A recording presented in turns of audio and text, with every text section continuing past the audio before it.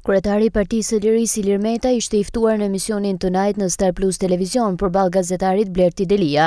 Meta deklaroi se qeveria e Rilindjes e ka zvogëluar Shkodrën, duke larguar një sërë drejtorish të rëndësishme dhe e ka lënë pa investime këtë qark. Rilindja nuk i ka kushtuar vëmendjen e merituar Shkodrës. Të asgjësosh qendrën më të madhe administrative të veriut të Shqipërisë. Mendoj që nuk është rastësi, nuk është as gabim, por është me vetëdije një përpjekje për të zvogëluar peshën e Shkodrës në zhvillimet aktuale dhe sidomos në zhvillimet e ardhshme të vendit. Atëherë mund të zgjedhin rrugën e largimit drejt Tiranës apo rrugën e emigracionit. Kujt i shërben kjo? A i shërben kjo Shkodrës? Pastaj të mos harrojmë universiteti, ku është katandis.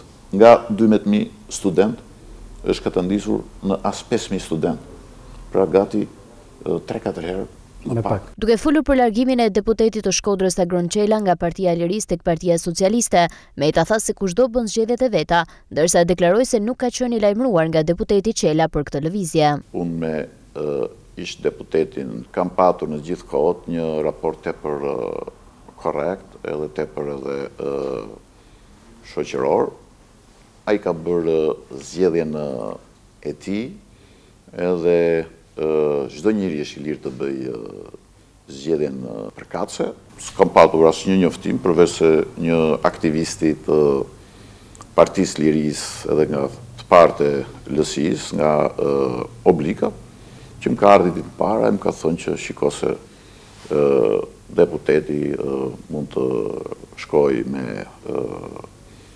Rilindjen. Dhe unë i kam thënë, është e drejtë e tij të bëjë zgjedhjen e tij. Kështu që është një temë që për mua ka përfunduar. Sa i përket zgjedhjeve vendore të katërmbëdhjetë majit, Meta tha se Partia e Lirisë në Shkodër do të marrë ndër rezultatet më të mira. Rezultati i Partisë së Lirisë Shkodër edhe në zgjedhjet që po vijnë të katërmbëdhjetë majit do të jetë një ndër rezultatet më të mira dhe do të jetë një kontribut shumë i rëndësishëm për fitoren dërrmuese të kandidatit të opozitës së bashkuar. Meta akuzoi kryeministrin Rama për skandalin McGonigal, duke thënë se e kanë kuptuar gjithë shkodranët, shqiptarët dhe ndërkombëtarët se i vetmi objektiv i kreut të qeverisë sipas Metës është vjedhja.